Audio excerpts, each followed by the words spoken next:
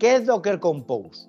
Docker Compose es un salto más, un salto más. ¿Y por qué he utilizado Docker Compose? Pues por una sencilla razón. Cuando uno tiene dos contenedores, ¿qué es lo que ocurre? Es muy fácil, ¿verdad? Tengo el comando este que he copiado y pegado, ¿recordáis? Copio, pego uno y pego otro y lo, arranco y ya está.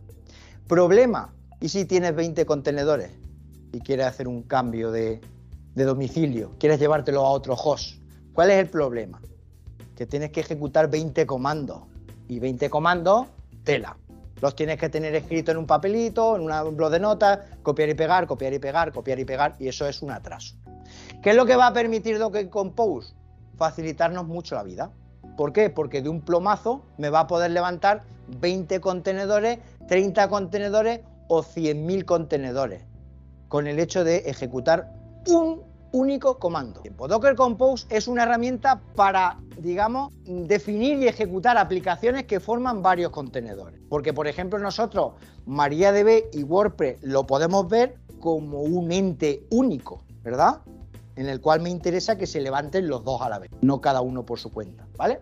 Entonces, utiliza un archivo IAML del tipo NetPlan. ¿Sabéis este archivo tan bonito que en cuanto un espacio no, venga bien ya te da un errorcito, ¿verdad? Y te vuelve loco. ¿Dónde está el espacio? Y la tabulación y no sé qué. Es precioso, ¿vale? El que inventó esto tiene que estar durmiendo muy a gusto en su casa. Entonces, entonces como digo, el, el archivo IAML es, por eso no lo voy a hacer una demo aquí porque va a ser imposible que no me equivoque, entonces yo dejaré esta documentación, yo lo cuento y luego lo hacéis tranquilamente en casa, ¿vale? Entonces, con un solo comando va a crear e iniciar todos los contenedores desde el archivo de configuración. Eso que nos va a ahorrar, lo que os comentaba al principio, tener que ejecutar el comando docker run de manera repetitiva. Para cada uno de los contenedores, 20 comandos docker run, 100 comandos docker run. Y aparte, otra de las cosas buenas que tenemos es que, como veréis, está en un archivo IAML. Es decir, con eso lo que cogemos es, cogemos el archivo IAML y hacemos copia de seguridad. Cogemos nuestros volúmenes y hacemos copia de seguridad y nos vamos a otro host, copiamos nuestros volúmenes y ejecutamos, copiamos nuestro archivo IAML y ejecutamos Docker Compose y en 0, tenemos un clon de nuestro host en otro host. Incluso si utilizo algún sistema de sincronización tipo VictorRensync, o era BitSync o como se llame ahora, o, algún tipo de, pues puedo sincronizar dos carpetas y dos archivos y tener dos hosts iguales para implementar un sistema de, alta, de alta disponibilidad. Es decir, caso que caiga uno, automáticamente tengo el otro ahí. Bueno, hacemos la instalación, yo la voy a contar aquí, se hace exactamente igual que como hacíamos con Docker, es decir, eh, copiar esta URL, ¿vale? Darle, perdón, hacer un, descargarse eh, la versión, en este caso 233 creo que se, se guarda el archivo ejecutable y luego le damos permisos. Y ya está. Lo que pasa es que lo guardamos dentro de USR Local Bin Docker Compose para que esté disponible en, la ventana de comando desde cualquier sitio, que no tengamos que irnos a la carpeta donde está el ejecutable, ¿vale? Eh, ejecutamos el comando, en lugar de ejecutar el comando Docker, es un comando nuevo que se llama Docker-medio Compose. Si hacemos Docker Compose menos menos version, me va a dar la versión Docker Compose la 2. la que sea, ¿vale? Bien. Fijaos que vamos a crear un directorio que se llama Docker Compose Demo. Nos movemos a ese directorio creamos un directorio que se llame app y dentro de app creamos un fichero index.html. El fichero index.html es un fichero que tenía yo por ahí que también os lo dejaré, cualquier uno la mundo HTML, me da igual, a pelo. Luego creamos el famosito Docker Compose, ¿vale? Docker Compose IML. Y en ese Docker Compose IML tenemos la versión del, del Docker Compose y luego hay una serie de etiquetas, que en este caso la primera es services. Dentro de services tenemos web. Y dentro de webs tenemos la imagen, que es nuestra imagen del repositorio de Docker. Los puertos es análogo al comando, pero estructurado de otra forma. Entonces tenemos los puertos, en este caso el, el 8000 que va a ir al 80 y los volúmenes, que en este caso va a ser el directorio app que enlaza con el directorio USR SARE HTML. ¿Vale? Eso lo que va a hacer es crear un contenedor con el motor de, web de Engines. Una vez que tengamos eso, lo que hago que es hacer un Docker Compose app "-d". Y eso lo que va a hacer es leer el fichero IAML, IML. Lo lee y va a hacer lo que indique en ese fichero. Va a ir uno por uno viendo qué contenedor, o sea, qué imágenes quieres y qué contenedores quieres y los va a ir levantando uno por uno, de forma súper rápida. ¿De acuerdo? Entonces, incluso fijaos, en el Docker Compose tengo que me cree la red. Pero es más, el Docker Compose permite volverlo a ejecutar y va a hacer lo mismo. Si ya está la imagen, no me la descargo, miro el local. Si está el contenedor, ya no lo creo porque ya está creado, no me va a dar error, etc. Al igual que utilizamos Docker PS para ver los contenedores que teníamos en ejecución, ¿verdad?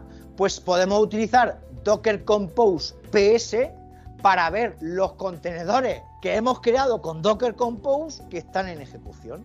Digamos que Docker Compose, para que lo entendáis, es un Docker vitaminado, un Docker más automático. Que lo que he hecho es, esta es una página de prueba de Docker Compose, eh, esa dirección IP lo que hace es apuntar al motor de engines al puerto que haya puesto yo antes, será el 80, ¿de acuerdo? Y entonces ya te aparece pues la página web de ejemplo. Lo mismo, puedo ver Docker Compose log para ver los logs de engines o puedo ver, puedo pausar todos los contenedores, es decir, sin cambiar el estado, puedo reanudar después de una pausa, puedo parar, pero cuando hago esto, lo que hace es hacerlo en bloque. En lugar de parar uno, me para todo el entorno. Puedo eliminar una imagen y aquí ya, bueno, fijaos, aquí ya puedo utilizar Docker Image RM o puedo utilizar el Docker RMI para borrar la imagen, ¿vale? Con el comando Docker, es decir, indistintamente puedo utilizar también comandos Docker con contenedores y con volúmenes que ya se han hecho en Docker Compose, ¿entendéis? O sea que no están, no están reñidos, es, digamos, forma de usarlo distinta. Os había preparado un ejemplo práctico sobre Docker Compose en el cual vamos a hacer exactamente igual que hemos hecho con Docker Run, pero en Docker Compose. Lo que vamos a hacer es borrar todas las redes que tengamos y crear un archivo personalizado que se llame Docker Compose IML, ¿vale? Que va a contener qué? va a contener la creación de nuestra red y todos los contenedores que hemos hecho, los tres. Con lo cual, de un plomazo se me crea la red y se me crean los tres contenedores de forma muy fácil y muy rápida. Ojo, al ejecutar Docker Compose se van a crear los contenedores de nuevo, pero nunca va a tocar los volúmenes. Los volúmenes siempre los vamos a tener que borrar a mano. Docker nunca te va a tocar los volúmenes. Si yo quiero borrar los datos, tengo que irme y borrar la carpetita. Punto. Mirar, ahí tenéis, este archivito es un fragmento. Lo primero que nos encontramos, la etiqueta Networks. Le voy a poner el nombrecito a mi red de Docker Compose, ¿vale? Que es más que teclas, pero luego ya el nombre que yo voy a utilizar en mis contenedores va a ser msqt.net. El driver va a ser brig y luego IPAM config y la subnet, que es la, la misma que hemos utilizado anterior. Esto, en lugar de hacer un comando con esto, lo pongo en el fichero IML. Sigo adelante, los servicios. ¿Cuál van a ser los servicios? Los propios contenedores. ¿Cuál va a ser mi primer servicio? Portainer. ¿De acuerdo? Portainer que tiene container name, portainer. Ese va a ser el nombre de mi contenedor. Container-name equivale a menos menos name en Docker Run. O sea, simplemente establecer una equivalencia entre ambos. Después, ¿qué tenemos? La imagen. Imagen portainer barra portainer c late. Después tenemos restar always. Luego tenemos la red que queremos utilizar. En mi caso, network más que teclas, que es la que he definido aquí arriba. La IP que le voy a querer dar. El puerto que le voy a querer dar, los volúmenes, etcétera, etcétera. Luego, justo después, ¿qué, tenemos? Los mismos. Voy a intentar mostraroslo aquí. Este es el fragmento que voy a dejar, ¿vale? Aquí tenemos el portainer, luego aquí tenemos MariaDB, y luego aquí tenemos WordPress, con la creación de la red justo aquí arriba. Una vez que ya tengo el fichero configurado y preparado, ¿qué es lo que voy a hacer? Como lo tengo aquí metido en este directorio, ¿verdad? El ficherito IML, hago un docker compose app-d. Con ese comando, solamente un comando es magia, es magia. Con un único comando te va a crear la red más que teclas, como lo estoy viendo ahí. Te va a crear el, el contenedor MariaDB, el contenedor Portainer y el contenedor WordPress. Todo a la misma vez. Un único comando y un fichero. Y lo bueno que tenemos con tener ese fichero es que si yo quiero crear una copia del WordPress, creo otro contenedor, copio, copio el fragmento de WordPress, me voy al final del fichero, pego el fragmento de WordPress, le cambio el nombre y ya tengo otro WordPress ahí para otra web. Y puedo hacer web como churros, puedo tener web como churros. Y si queréis ya, como he hecho yo, asociar subdominio, Pepito, aulavirtual.masqueteclas.com, nos suena, ¿verdad? Pues hay un servidor, perdón, hay un, un Traefic, que es un, un proxy inverso, y eso ya es la pera limonera. Puedo tener todas las webs que me dé la gana o que me salga de los webs.